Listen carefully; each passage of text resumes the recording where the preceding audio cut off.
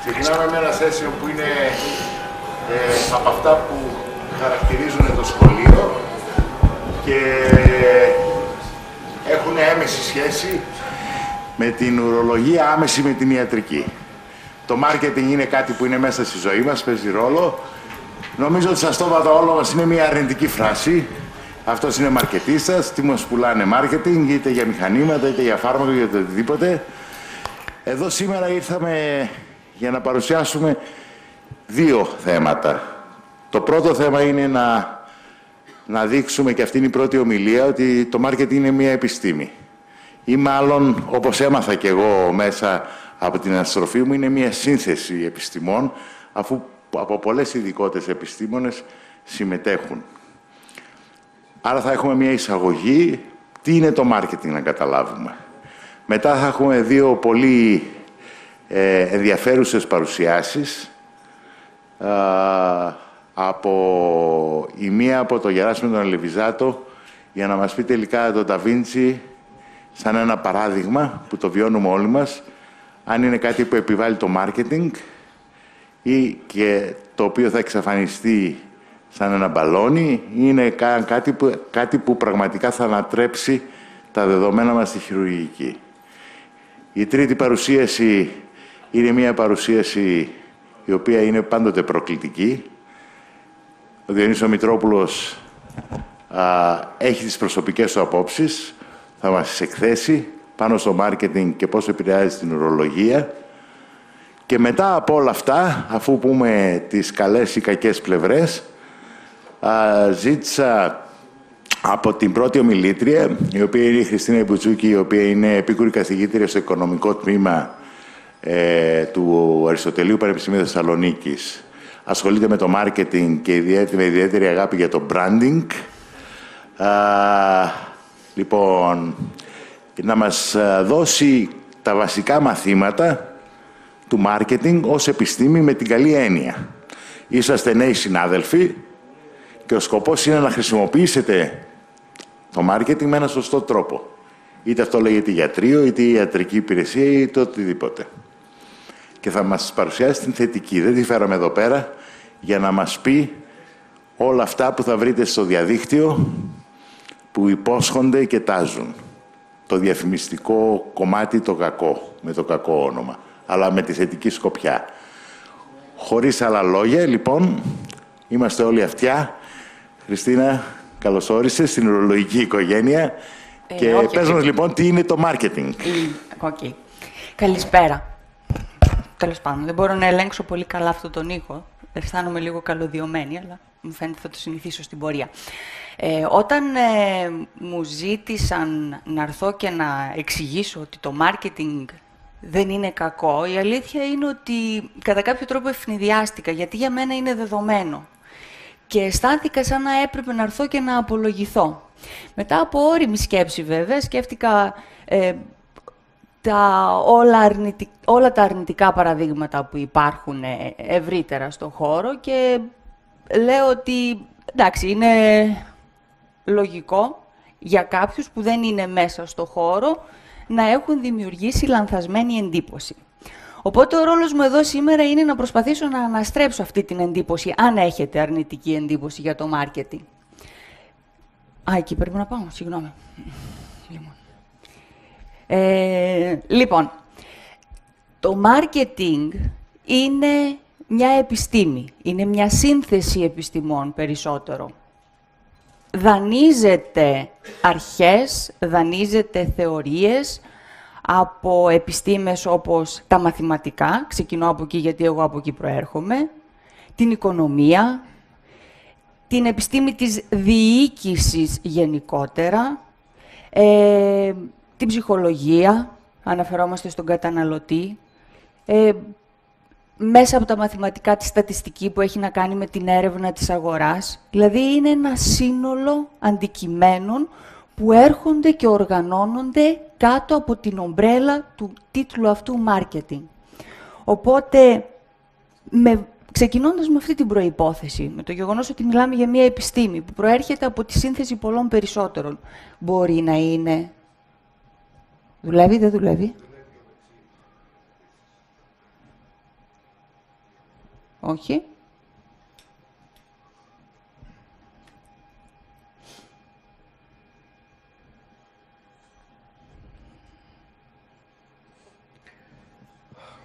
Μπορεί να είναι κακό. Ναι, αυτό ήταν. Ε, δεν θα σας απαντήσω σε αυτή την ερώτηση. Θα την απαντήσετε εσείς όταν θα τελειώσουμε αυτή την ε, συζήτηση. Θα ξεκινήσω με μερικά παραδείγματα που είναι σε όλους σας γνωστά.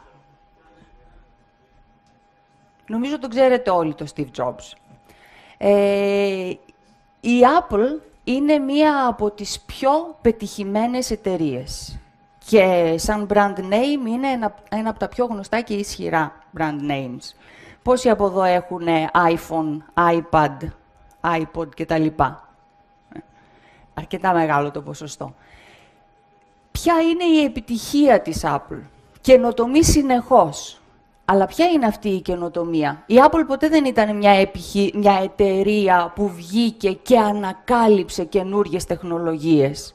Η καινοτομία της Apple και, της, ε, και του Jobs είναι ακριβώς το μοντέλο της διοίκησης των προϊόντων. Το marketing της εταιρείας είναι αυτό που κάνει τη διαφορά. Στηρίχτηκε σε τεχνολογίες που είχαν βγάλει άλλοι και τις ανέπτυξε με έναν τέτοιο τρόπο ώστε έγιναν πολύ πιο χρησιμοποιήσιμες, πολύ πιο όμορφες, προσφέροντας δηλαδή ένα σύνολο πλεονεκτημάτων πολύ περισσότερων από αυτό που έκανε ο ανταγωνισμός. Και αυτό έχει εδραιώσει τη συγκεκριμένη εταιρεία στον χώρο. Η Google. Το 2002 ήταν η μάρκα της χρονιάς. Και η Google δεν έγινε αυτό που έγινε εξαιτίας της ανακάλυψης μιας τεχνολογίας. Θεωρείται η πρώτη μηχανή αναζήτησης σήμερα, αλλά δεν ήταν η πρώτη χρονολογικά που βγήκε. Ήτανε δεύτερη, απλά αυτοί που βγήκανε πρώτοι δεν το είχαν κάνει σωστά. Δηλαδή, δεν είχαν αναπτύξει το σύνολο των υπηρεσιών που θα μπορούσαν να προσφέρουν και δεν το είχαν προωθήσει με τον κατάλληλο τρόπο. Δεν είχαν κάνει τις κατάλληλες συνεργασίες, δεν είχαν βάλει τα σωστά εργαλεία μέσα, με αποτέλεσμα να ξεπεραστούν πάρα πολύ εύκολα από αυτόν που ήρθε δεύτερος, έμαθε από το λάθος τους, το διόρθωσε, το εφάρμοσε σωστά και βγήκε στην αγορά. Συνεχίζει η Google φυσικά να είναι αυτή τη στιγμή η πρώτη μηχανή αναζήτησης. Δεν ήταν μόνο το 2002. Και αν θέλετε η απόλυτη επιτυχία της Google βγαίνει από το ότι έχει ταυτιστεί με την ενέργεια που κάνουμε. Λέμε Googlearo.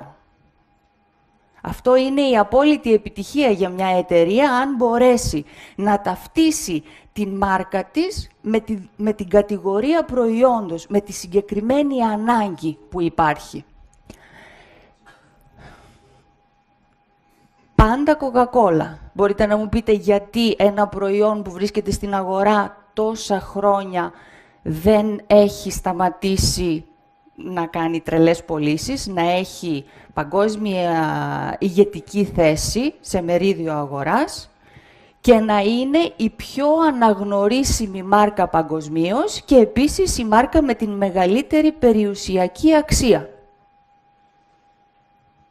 Και εδώ έχουμε μια πρωτοπορία φυσικά στην ανακάλυψη του συγκεκριμένου, του συγκεκριμένου αναψυκτικού από έναν φαρμακοποιό, ο οποίος ποτέ δεν μπόρεσε να καρποθεί τα αποτελέσματα της εφεύρεσής του.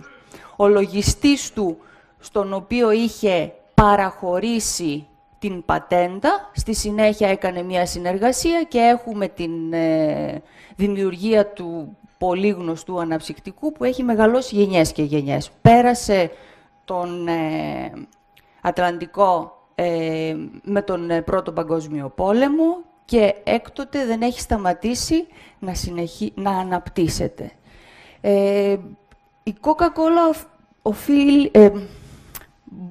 έχει κάνει πολλά πράγματα. Μέχρι και τον Άγιο Βασίλη άλλαξε. Η φιγούρα του Άγιου Βασίλη, έτσι όπως την ξέρουμε σήμερα, είναι αποτέλεσμα διαφημιστικής προσπάθειας της Coca-Cola. Που πήραν την κλασική φιγούρα του Άγιου Νικόλαου ή του... Ε, σε κάθε, γιατί σε κάθε χώρα έχει, είναι διαφορετικός αυτός ο Άγιος, τον έντυσαν με τα χρώματα της Coca-Cola, τον έκαναν λίγο πιο γλυκό και ευπαρουσίαστο για τα παιδιά και αυτή είναι η φιγούρα που όλοι μας γνωρίζουμε από τον Άγιο Βασίλη. Ε, επίσης, να σας πω ότι παρόλο που πρόκειται για την πρώτη μάρκα ε, σε αναγνωρισιμότητα, είναι και η πρώτη σε διαφημιστικές δαπάνες. Συνεχίζει. Δεν έχει εγκαταλείψει την προσπάθεια της επικοινωνίας αυτού του μηνύματος που θέλει να περάσει. Always Coca-Cola, Coca-Cola it is και αυτό που λένε πάντοτε είναι ότι είναι the real thing, έτσι, το πραγματικό. Δεν υπάρχει κάτι. Οτιδήποτε άλλο είναι απομίμησης, σε αυτό στηρίζονται. Και κάποια άλλα, προβλήμα, ε, και κάποια άλλα προϊόντα που δεν χρησιμοποίησαν τόσο καλά το μάρκετινγκ και δεν τα κατάφεραν. Δεν ξέρω αν θυμόσαστε τη φρενίτιδα που είχε πιάσει πριν από αρκετά κάποιες δεκαετίες με το Περιέ. Παρόλο που είχαμε σόδες, όλοι προτιμούσαν το Περιέ, ήταν lifestyle. Παρουσιαζόταν με αυτόν τον τρόπο, είχε εδρεωθεί. Σε κάποια φάση η Περιέ αντιμετωπίζει ένα πρόβλημα γιατί βρέθηκαν ίχνη βενζολίου στην παγκόσμια παραγωγή. Της αναγκάζεται να ανακαλέσει την παγκόσμια παραγωγή, αλλά έβγαινε και δήλωνε ότι δεν υπάρχει πρόβλημα, ότι είναι φήμες, διαδόσεις, ε, αυτά που λέτε δεν ισχύουν και ξαφνικά ενώ συνεχώς διέψευδε τα, τα όποια, τις όποιες φήμες είχαν δημιουργηθεί, αναγκάζεται να ανακαλέσει τα, τα προϊόντα της. Μετά από αυτό δεν μπόρεσε ποτέ να ανακάμψει. Και ενώ είχε ένα μερίδιο αγοράς της τάξης του 44%, τώρα έχει φτάσει γύρω στο 14% μετά από τόσα χρόνια που έχει ξαναεπιστρέψει στον κλάδο, έχει παραδεχτεί το λάθος της, αλλά αυτό ήταν κάτι που η αγορά δεν της, δεν της το συγχώρεσε. Δεν της συγχώρεσε το γεγονός ότι βγήκε και είπε ψέματα. Ότι προσπάθησε να αποκρύψει κάποια πράγματα. Και αυτό, όπως θα δούμε και στη δεύτερη φάση, είναι κάτι που δεν μπορούμε να το κάνουμε. Η ειλικρίνεια είναι ο μόνος δρόμος για την σωστή ανάπτυξη και τη διαχρονική παρουσία στην αγορά. Ε, πριν από λίγο καιρό είχα δει ένα δημοσίευμα στις ε, εφημερίδες που αναφερόταν στην ε, πτώχευση της Kodak Eastman. Οπότε έψαξα και βρήκα κάποια αποσπάσματα από τους New York Times. Μιλάμε για μια εταιρεία που βρισκόταν στον κλάδο πρωτοπορούσε έτσι με μια ιστορία 130 χρόνων. Ήταν η πρώτη εταιρεία με τις φωτογραφικές μηχανές και τα φιλμ, ηγετική και πάλι θέση στον κλάδο, πρώτη, αλλά δεν κατάφεραν ποτέ να αντιμετωπίσουν την αλλαγή στην τεχνολογία. Δεν μπόρεσαν να συμβαδίσουν με την αλλαγή στο εξωτερικό περιβάλλον.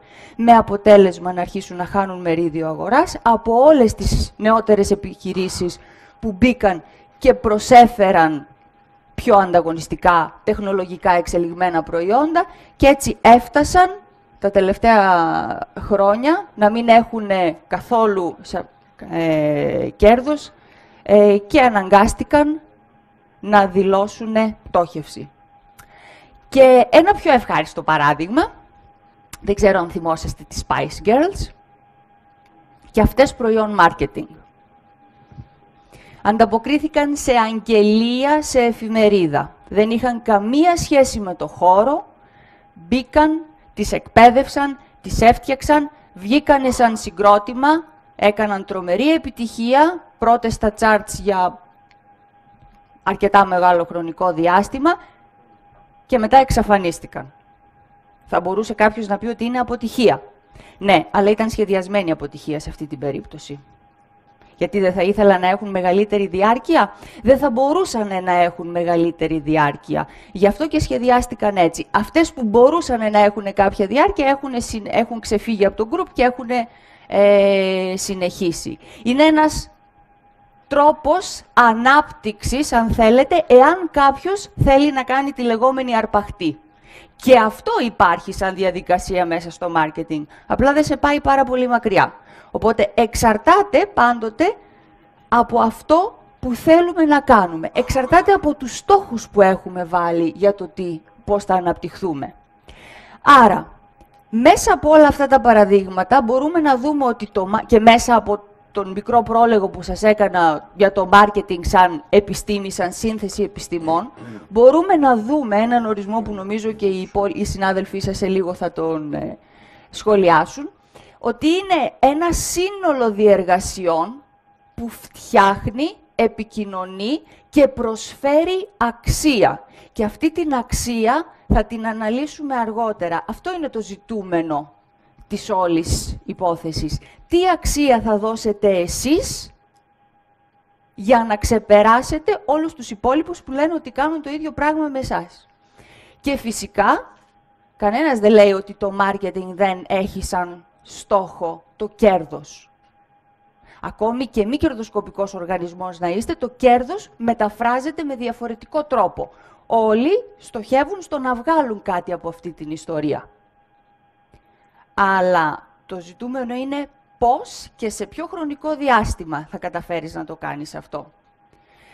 Εσάς και περισσότερο όλους αυτούς που ασχολούνται με την οργάνωση του μάρκετινγκ, ενδιαφέρει η διοίκηση, δηλαδή η σωστή εφαρμογή του μάρκετινγκ ή θα μπορούσαμε να πούμε και η στρατηγική του μάρκετινγκ, που είναι και τέχνη και επιστήμη. Του να βάλεις όλα αυτά τα πράγματα μαζί για να μπορέσεις να εντοπίσεις συγκεκριμένες αγορές, συγκεκριμένους καταναλωτές, συγκεκριμένη ομάδα ανθρώπων στους οποίους θα απευθυνθείς, να τους τραβήξεις στη δική σου επιχείρηση, εντός εισαγωγικών, να τους διατηρήσεις και διαχρονικά να αυξάνεις και τον αριθμό τους έτσι ώστε να έχεις το κέρδος το οποίο επιδιώκεις μακροπρόθεσμα πάντοτε.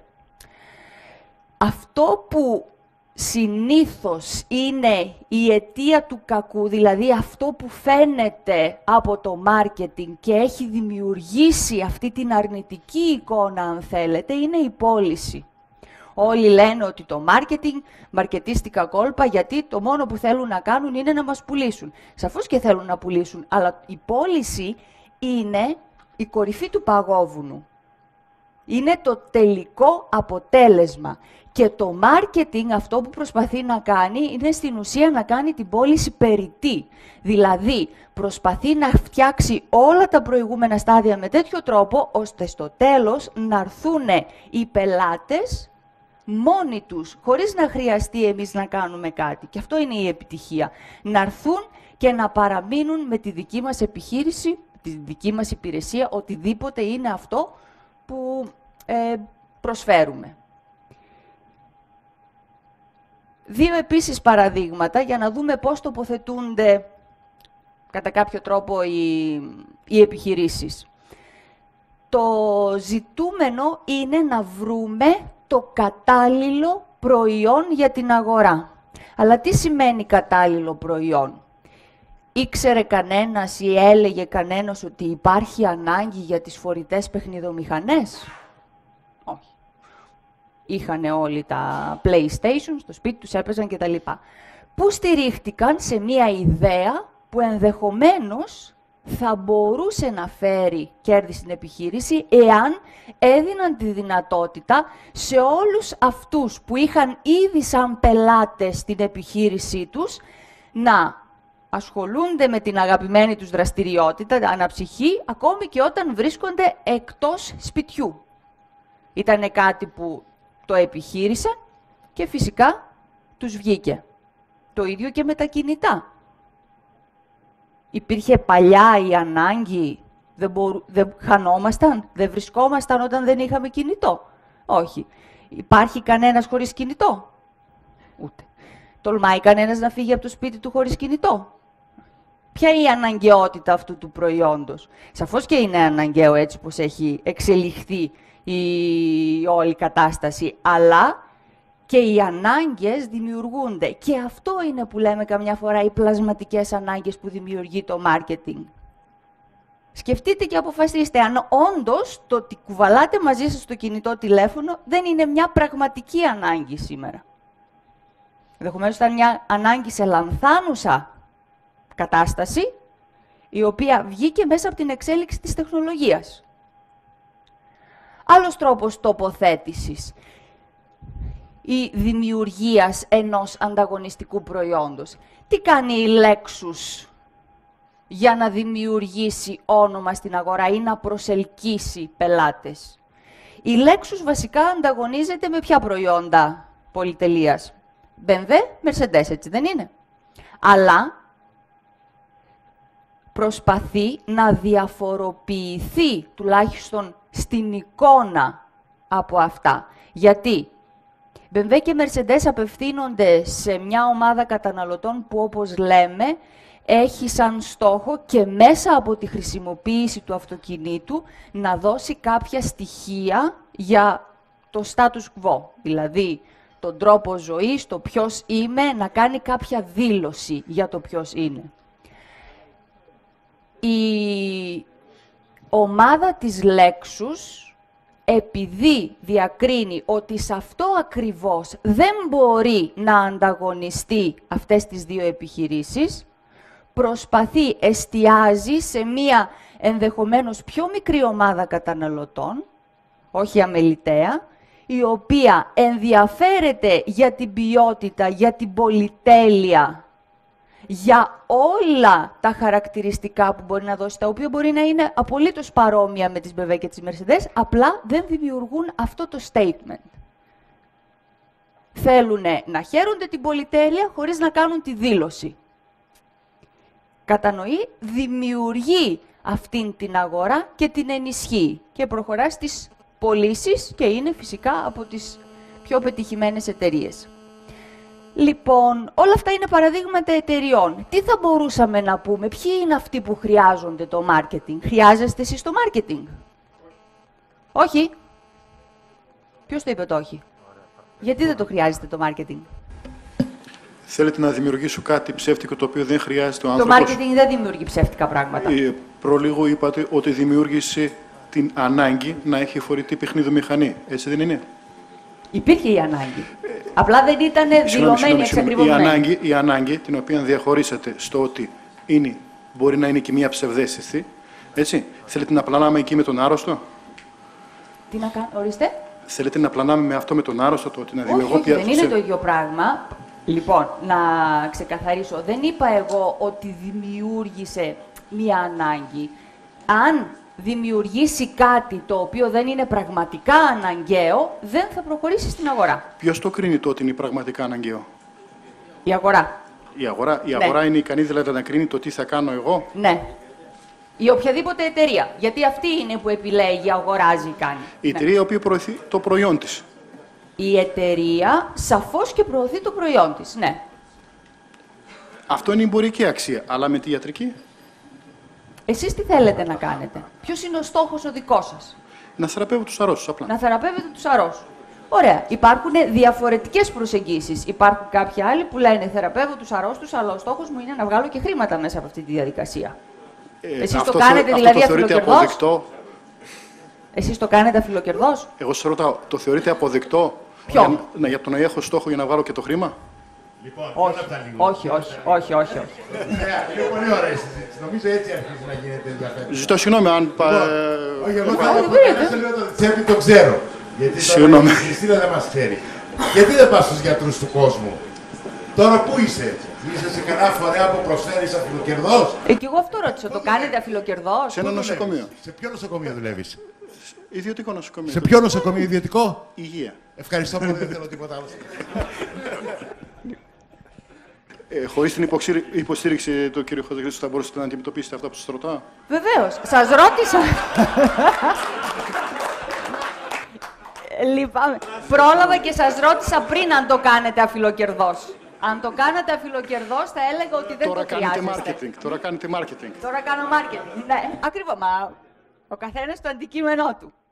Λοιπόν, οπότε εγώ θα επανέλθω και θα σας πω ότι όλα αυτά είναι διαφορετικά πράγματα εντός εισαγωγικών που διακινούνται στην αγορά και οτιδήποτε διακινείται στην αγορά χρειάζεται υποστήριξη. Το καλύτερο πράγμα Το πιο πετυχημένο πράγμα χρειάζεται υποστήριξη. Γιατί ξεκινάμε με το δεδομένο ότι αν δεν γνωρίζει η αγορά γι' αυτό, όσο πετυχημένο και να είναι, δεν θα υπάρξει ζήτηση. Το θέμα είναι πώς θα το κάνεις γνωστό. Μπορείς να το κάνεις γνωστό με αρκετά εμπορικούς τρόπους, αλλά μπορείς να το κάνεις και με πιο σωστούς τρόπους. Το οποίο θα είναι αποτέλεσμα της ποιότητας της δουλειάς σου η όλη αυτή η διαδικασία. Και αυτό marketing είναι, αλλά δεν είναι κακό. Υπάρχει καλή και κακή εφαρμογή. Αυτή είναι η διαφορά. Όπως υπάρχει καλή και κακή εφαρμογή, υπάρχει σε όλα.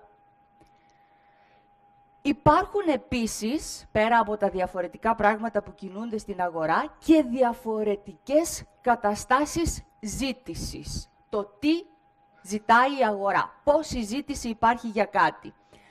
Δυστυχώς για σας βρισκόσαστε στην αρνητική. Εξού και το αχρίαστος να είναι. Άρα έχετε να αντιμετωπίσετε αυτό. Το ότι κανένας δεν θα έρθει σε εσάς επειδή το θέλει. Έχει κάποιο πρόβλημα και έρχεται σε εσάς. Δεν είμαστε η χώρα που λειτουργεί με την πρόληψη έτσι ώστε να έρθει κάποιος ασθενής σε τακτά χρονικά διαστήματα, να κάνει check-up κτλ. Και, και αυτό να δημιουργήσει μια κίνηση και μια ροή ασθενών. Είμαστε στην ε, κουλτούρα της «δεν μπορώ άλλο», έχω αρχίσει και πονάω αβάσταχτα, άρα αναγκάζομαι να πάω στο γιατρό. Και από εκεί και πέρα, άρα έρχονται σε εσάς με αρνητικά συναισθήματα. Και αυτό είναι κάτι που θα πρέπει να αντιμετωπίσετε. Τι άλλο έχετε να αντιμετωπίσετε, τι επηρεάζει το επάγγελμά σας, πολλά πράγματα, από τις αλλαγές στην τεχνολογία, ρομποτική και τα λοιπά που φέρνει εξελίξεις, πώς θα τις διαχειριστείτε, η παγκοσμιοποίηση, η απορρίθμιση του περιβάλλοντος, κάθε τόσο όλο και κάτι γίνεται, αλλάζουν το πώς λειτουργούν τα νοσοκομεία και τα λοιπά, τι προμήθειες μπορούν να κάνουν, ποια φάρμακα μπορείτε να παίρνετε. Γενικά, κάθε φορά μπορώ να πω ότι σας διαλύουν τον γνωστό τρόπο λειτουργίας και αναγκάζεστε να αναπροσαρμοστείτε. Ιδιωτικοποιήσεις, η ενδυνάμωση του πελάτη, το ίντερνετ, όσο καλό είναι, τόσο και κακό μπορεί να κάνει. Μπαίνει κάποιος, ενημερώνεται, κάνει, οπότε έχει μία κάποια σχετική γνώση και η ημιμάθεια είναι πάντοτε χειρότερη της αμάθειας για να μπορέσετε να τη διαχειριστείτε. Εξατομίκευση, οι, οι, όλοι οι πελάτες ασθενείς ζητούν προσωπικό ενδιαφέρον, προσοχή, το απαιτούν, έχουν μάθει. Έχει αλλάξει η αγορά, έχουν μάθει. Και αν κάτι αφομοιωθεί από την αγορά, παγιωθεί, δεν μπορείτε να πάτε πίσω σύγκληση των κλάδων από διαμεσολάβηση. Όλοι οι ενδιάμεσοι φεύγουν λίγο πολύ από το παιχνίδι. Οι ενδιάμεσοι, είτε είναι εταιρείες που φέρνουν υλικά, είτε και τα λοιπά, βλέπετε ότι δημιουργείται μία αναδιάρθρωση του κλάδου και αλλάζουν λιγάκι τα δεδομένα των συνεργασιών. Οπότε πέρα από τα όσα έχετε να αντιμετωπίσετε με τους ασθενείς σας, έχετε και το λεγόμενο εξωτερικό περιβάλλον που θα πρέπει να αντιμετωπίσετε. Υπάρχουν κλασικά τέσσερις γνωστοί προσανατολισμοί, λέμε, στην αγορά. Αυτή της παραγωγής που στηρίζεται στη φιλοσοφία ότι εγώ προσφέρω αυτό που μπορώ να φτιάξω και μέχρι εκεί σταματάω, του προϊόντος, έχω κάτι συγκεκριμένο που ξέρω, γνωρίζω και κάνω μόνο αυτό και θεωρώ δεδομένο ότι η αγορά θα το επιλέξει επειδή αυτό ξέρω, αυτό κάνω και το κάνω καλά. Πωλήσεις προσπαθώ να προωθήσω, άσχετα αν είναι καλό ή κακό, λειτουργώ με την νοοτροπία ότι εγώ θα πείσω την αγορά να το αγοράσει, να το χρησιμοποιήσει και το marketing, αυτό που λέμε εμείς, που είναι εξέλιξη, εμπεριέχει όλα τα προηγούμενα, όλα τα προηγούμενα, δεν είπα εγώ ότι δεν έχει και πωλήσεις στο marketing, σαφώς και έχει πωλήσεις. Αλλά κοιτάξτε με ποια λογική. Μπαίνουν πολλά πράγματα μέσα. Βέβαια, εφαρμόζονται αρκετά από αυτά και σε μεγάλες επιχειρήσεις που έχουν και προσωπικό. Δηλαδή, το εσωτερικό marketing είναι αυτό που γίνεται μέσα στην επιχείρηση. Είναι η εκπαίδευση των εργαζομένων έτσι ώστε να λειτουργούν μαζί με την, εποχή, με την ε, επιχείρηση. Δηλαδή, να αισθάνονται ότι είναι κομμάτι της επιχείρησης. Δέστε τον ανατολικό τρόπο ανάπτυξης και διοίκησης των ε, επιχειρήσεων. Εκεί η εταιρεία, η επιχείρηση είναι η οικογένειά τους. Αυτό δεν μπορεί να εφαρμοστεί στη Δύση. Έχουμε τελείως διαφορετική κουλτούρα, δεν μπορούμε να το αποδεχτούμε, αλλά η σωστή ανάπτυξη, εκπαίδευση, παροχή κινήτρων μέσα στην εταιρεία φτιάχνει υπαλλήλους οι οποίοι αισθάνονται κοντά στην εταιρεία και λειτουργούν για το τελικό συμφέρον της εταιρείας. Το λεγόμενο ολοκληρωμένο marketing είναι αυτό που συνδυάζει όλα τα χαρακτηριστικά, δηλαδή προϊόν, τιμή, διανομή κτλ. που θα το δούμε στη συνέχεια, είναι αυτό που φαίνεται προς τα έξω. Η επικοινωνία, η προώθηση, οι πωλήσεις. Αυτό το κλασικό. Υπάρχει το marketing των σχέσεων που αναπτύσσει η εταιρεία με τους συνεργάτες της και αυτό είναι πολύ σημαντικό κομμάτι γιατί οι σωστοί συνεργάτες είναι αυτοί που φέρνουν τα σωστά προϊόντα στην αγορά. Δηλαδή η συνεργασία με εταιρείες που κάνουν έρευνα σε νέα φάρμακα, σε ε, εξαρτήματα, σε ε, ρομπότ και τα λοιπά, οτιδήποτε μπορείτε να χρησιμοποιήσετε για να κάνετε τη δουλειά σας καλύτερα, αλλά η σωστή συνεργασία όπου εσείς λέτε, βοηθάτε, διορθώνετε και τα λοιπά, και υπάρχει το λεγόμενο κοινωνικά υπεύθυνο marketing. Άλλη μια περιοχή στην οποία μπορούμε, αν θέλετε, να πούμε πολλά πράγματα. Πώς γίνεται, με ποιο τρόπο εφαρμόζεται. Κοινωνικά υπεύθυνο marketing είναι αυτό που βγαίνει προς τα έξω από τις εταιρείες για να δείξει ότι είναι εταιρείες που ενδιαφέρονται για το καλό του συνόλου. Πέρα από οτιδήποτε κάνουν. Ναι, κανένας δεν είπε ότι δεν θέλουν να βγάλουν χρήματα, αλλά κάνουν και άλλα πράγματα. Προστασία του περιβάλλοντος, ευαίσθητων κοινωνικών ομάδων κτλ. κτλ. Και εδώ υπάρχουν δύο πρακτικές. Η μία που είναι η πιο εμπορική, όταν βλέπετε δηλαδή διαφημίσεις της μορφής αγοράζοντας ένα μπουκάλι νερό ζαγόρι, συμμετέχετε στο πρόγραμμα για την παροχή νερού στην Κένια. Αυτό είναι το λεγόμενο cause-related marketing που συνδυάζει έναν σκοπό με την πώληση ενός προϊόντος. Και αυτό είναι συζητήσιμο. Έτσι, τι, γιατί. Φυσικά το κάνει για να ενισχύσει τις πωλήσεις του προϊόντος.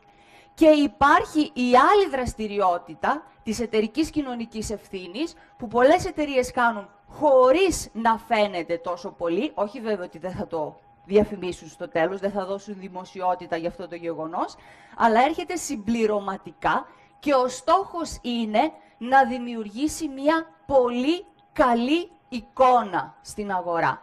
Και ελπίζουν ότι μέσα από αυτή την πολύ καλή εικόνα θα μπορέσουν να πάνε πιο μακριά και να έχουν και τις πωλήσεις.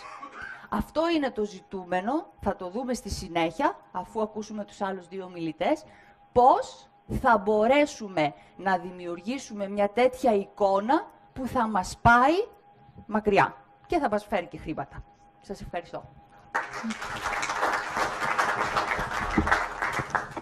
Ευχαριστούμε πολύ. Λοιπόν, ε, μην...